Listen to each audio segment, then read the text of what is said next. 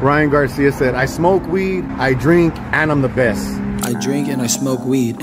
I don't think Ryan should be saying about it. You can't be doing stuff like that and, and still think you're going to be a great athlete. You know, he's not the best. If he's, you know, he said he's the best, he's not the best. You know, there's there's a lot of 140 pounders that'll beat him. You know, he's not even a world champion. He's never even been a world champion. You know, guys like Mayweather, who is one of the best of all times. I guarantee you, he never he never had a he never smoked or or drank uh, during training camps or anything like that.